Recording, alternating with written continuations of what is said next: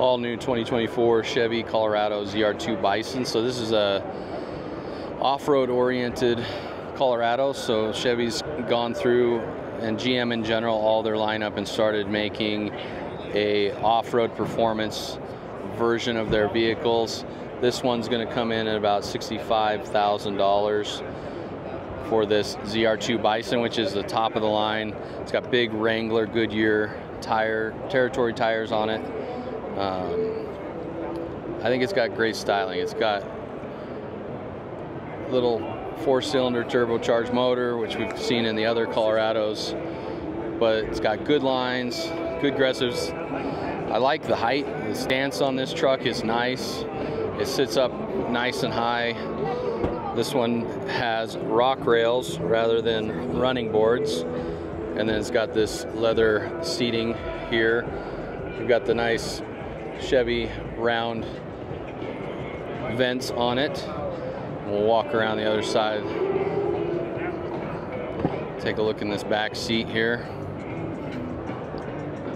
So obviously, compact truck, you're not gonna have as much space as you would in a full-size half-ton or three-quarter ton truck, but still a very roomy seat for, and this competes against the likes of the Toyota Tacoma and the Ford Ranger. Tailgate's locked,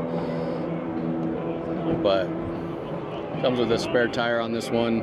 I think that's likely to be an option rather than a standard, but I don't know that for sure. Decent sized bed. This is has a great use case. These little uh, compact trucks. This one comes with the Multimatic DSSV shock system, which we've seen on all these ZR2 models for Chevy. Let's come into the driver's seat.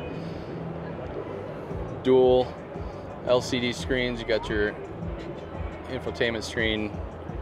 Your gauge cluster is all digital.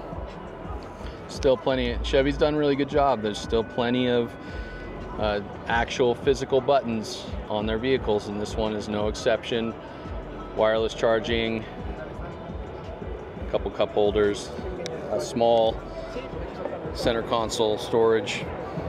Um, but the seat, it's a nice truck. Let's see if I can climb up into it while I film. All right. It's comfy. Bose system. sunroof on the top, but it's a comfy. This this truck's pretty comfy. I, I would I would drive one of these. It'd be a fun one to take off-roading and um, get out into the desert or whatnot, or even here in Colorado up in the mountains would be a blast. I just noticed this got kind of this like camo um, accent with the ZR2 badging, and even the wireless charger has that kind of camo you find it throughout the cabin. So it's a pretty cool feature. So jump out of the driver's seat here. Let's go see what our power numbers are on this vehicle. 17 miles per gallon average on the uh, motor. It's,